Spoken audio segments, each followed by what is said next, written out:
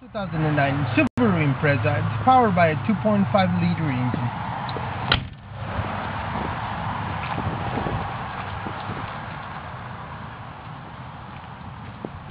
It's got tires that are in great shape, almost brand new. Lightly tinted glass all the way around. Lots of space in the cargo area. Subaru is known for symmetrical all-wheel drive. Let's take a look inside.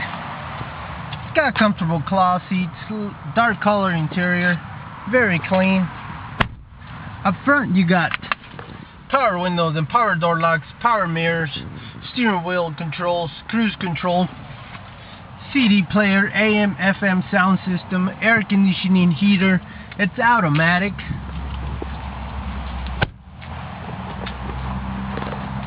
And it's in great shape and it's at a great price. So if you're definitely in the market for a new or a used vehicle, come see us today here at Gentry Ford Subaru in Ontario.